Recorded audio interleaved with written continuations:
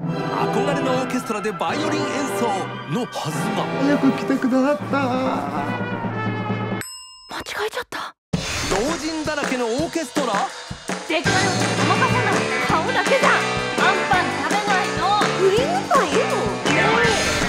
野々村さん。大橋のおかげにお前らなんかに負けるもんか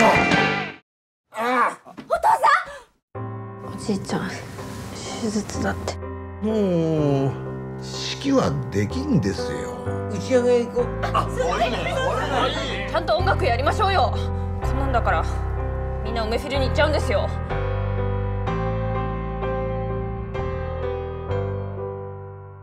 梅ヶ丘交響楽団コンサートを開きたいと思います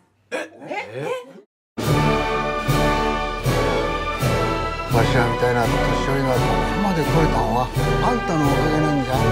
大好きなことくらい思いっきり頑張りたいんだよね。あの人たちにそれを教えてもらったっていうか。やっぱり好きなことしとるのが一番じゃ笑って泣いてまた笑う。日本一痛快なクラシック音楽ムービーが幕を開ける。これが梅教だ